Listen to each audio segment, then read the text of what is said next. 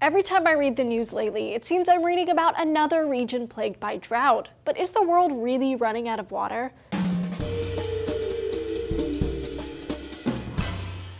Hey guys, Julia here for DNews. Here in the Western developed world, we like to think of water as a renewable resource. It's everywhere and it's such a huge part of our lives. It flushes our waste down the drain, keeps our power plants cool, and keeps our food growing in fertile plains. And we basically get fresh and safe drinking water for free out of the tap. But many parts of the world aren't so lucky. According to the UN, 85% of the world lives in the driest half of the planet, and hundreds of millions of people don't have access to clean drinking water. And it could get worse way worse. Over the next few decades, by 2050, the global population will grow by 3 billion more people. And that means global water demand is projected to increase by 55% as many nations become more populous and more developed. At the same time, climate change will change weather patterns across the globe, causing some regions to become wetter and others to become drier. While a true global drought seems unlikely, I mean, the water system is a closed cycle. But as these changes occur, dry areas will become drier and larger. The water that used to flow into fertile fields won't permeate the soil and evaporate into the atmosphere, eventually finding its way into the ocean. But how will these changes affect how we get our water?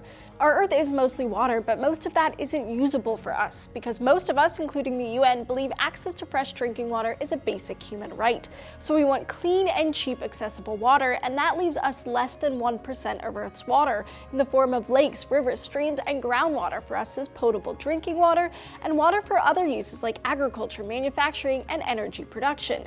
If you're a frequent D-News watcher, you might know that here in San Francisco, we get our water from Hetch Hetchy, a man-made reservoir high in the Sierra Nevada mountains. Snow falls onto mountains in the area, and when spring returns, the snow melts and runs into Hetch Hetchy. But this past year, we've only seen a fraction of the amount of precipitation we usually do. California is in a major drought, and at the same time, the American West could be facing the worst drought in a millennium. And we aren't the only ones left high and dry. Many regions of the world are facing historic droughts like Brazil, China, Kenya, and Australia, just to name a few. One of the reasons for widespread droughts is a lack of snowfall. New research published in the journal Environmental Research Letters found that snowpack is on the decline around the world. So much of the northern hemisphere depends upon annual snowpack for its freshwater that accounts for nearly 2 billion people. Yet the researchers find that nearly 67% of those people could have insufficient snowpack in the coming century. One of the study's authors said that water managers have to make arrangements at a lot of places for alternatives as the snow reservoir will no longer exist. And it's not just a lack of water from above, water supplies from below are dwindling too. In June of 2015, NASA announced the water table is dropping all over the world. Of the 37 largest underground aquifers on Earth, 21 have passed their sustainability tipping point. That means more water is being taken out than is finding its way back in. And the thing about aquifers, most of the water is old, really old, and it takes a while for it to refill. Some aquifers can take anywhere from 500 to 1,300 years to refill. So it's a pretty large problem. Even the UN said that the world could suffer a 40% shortage of water just 15 short years from now. In its World Water Development Report, the UN highlighted high population growth and poor urban design as two main areas of concern. And unfortunately, the report says this convergence is certain to intensify the water insecurity of poor and marginalized people in low-income countries. So what happens when we run out of fresh water? Well, here in California, we've already started to adjust our lives. There's a state-mandated water conservation plan in place to reduce consumption. And that means no washing the car or watering the lawn every day. It means asking for water at a restaurant rather than having it on the table. Relatively small changes for us, but losing most of the world's fresh water could mean major upheaval and major costs for some countries, especially when it comes to food. Most of the world's water, 70%, goes to agriculture.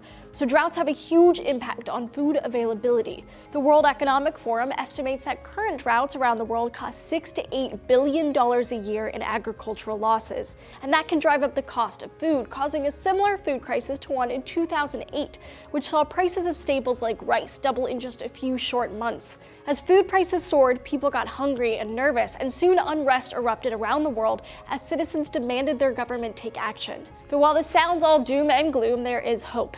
The UN hopes that by 2050 we'll have learned new techniques like widespread adoption of advanced agrotechnology and highly efficient irrigation techniques that will ease the strain on agriculture.